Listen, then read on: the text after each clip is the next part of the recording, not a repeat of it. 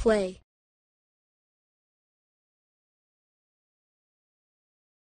Hi, kids. Let us try a simple experiment to learn what dissolving is. These are the things that you will need. Two glasses of water. Salt. Pepper. A spoon.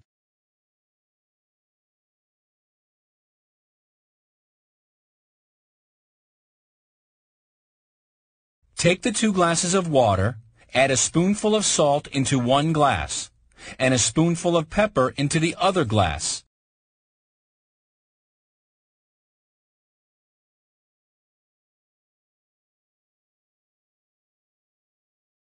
Stir both mixtures well for about 30 seconds.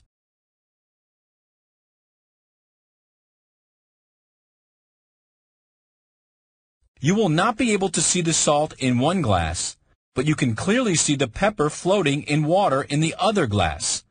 This is because the salt has completely dissolved into the water. It is still there, but it has broken down into tiny pieces which we cannot see.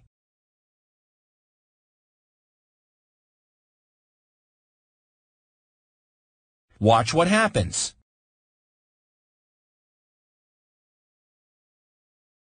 On the other hand, the pepper did not dissolve into water. The grains of pepper are lighter than the water, so they float on the top. Thus, we have learned that the salt dissolves into water, but pepper does not dissolve into water. Dissolving means to completely mix into a solution. Some substances can dissolve easily, while others cannot. The new word that we learned Dissolving. Dissolving means to get completely mixed into a solution. Do you want to exit? Yes.